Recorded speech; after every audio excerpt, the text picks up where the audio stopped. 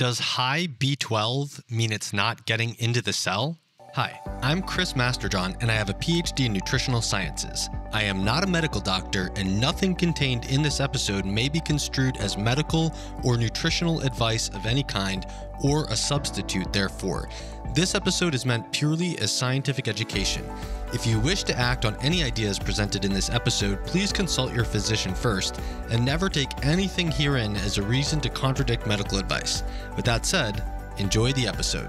My B12 has been significantly above range both times I tested it a couple years ago and more recently. I do supplement methyl um, methylcobalamin and I've heard that it might mean, due to MTHFR, that it's not getting used by the cells. I don't know if that's just a myth. And if so, is it worth trying to supplement instead a combination of adenosine and uh, hydroxycobalamin? Um, I, so the right way to address that would be to measure serum or uh, or urine or both methylmalonic acid (MMA), and that's a functional marker that's very specific to B12. If B12 was um, if if it's not getting into the cell, then methylmalonic acid is going to be high. The more the overwhelmingly most probable reason for B12 being high if you're taking a B12 supplement is that you're taking the B12 supplement and it's just not having the time to clear from plasma because you're taking it often enough um, to always keep the plasma level high.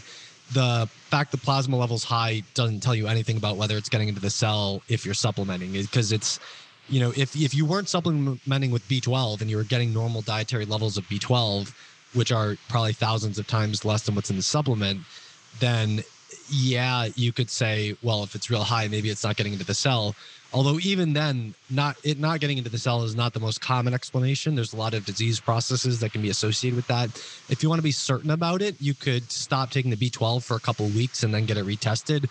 But I personally wouldn't bother with that. I would just test methylmalonic acid because that is a direct, specific functional marker of B12 status. Um, and I think that gives you your answer about it getting into the cell. Thanks. And um, for the MMA, if I can't get the urine version, which I've heard is potentially better, is the serum one okay? Yeah, I mean, the best thing is to get both, but uh, one or the other is better than nothing. Okay. Thanks very much. Yep. You're welcome. Thank you so much for your question. This episode was part of a Q&A for members of the CMJ Masterpass, a buyer's club with exclusive and massive discounts on your favorite premium foods and health products, including pasture-raised and wild meat and seafood, supplements, sleep accessories, water filters, phototherapy devices, and much more. As a bonus, you also get to participate in monthly private Zoom Q&As with me. You can join the Masterpass at chrismasterjohnphd.com slash masterpass and use the code Q&A, spelled out as Q-A-N-D-A, Q&A, for a 10% lifetime discount. From now through February or March, whatever it takes to get it done, I will be working full time on finishing my Vitamins and Minerals 101 book while reserving a portion of my time for my consulting clients. You can pre-order my book at chrismasterjohnphd.com slash book. In my consulting, I am neither a medical practitioner nor a coach.